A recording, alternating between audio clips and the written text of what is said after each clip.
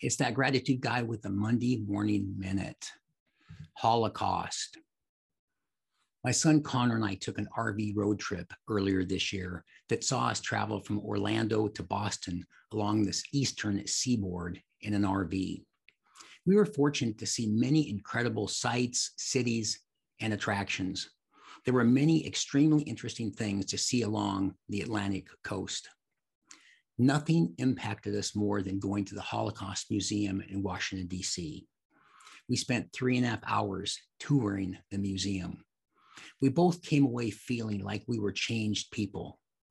The word that came up over and over again was inconceivable. The fact that this was perpetrated on human beings was simply inconceivable. Gratitude is a big part of Connor's and my life. We both decided that if either one of us ever went down the pity party path, the other, the other one just had one word to say Holocaust. It will remind us how fortunate, how now grateful we truly are. I'm that gratitude guy. Remember, be grateful and never quit.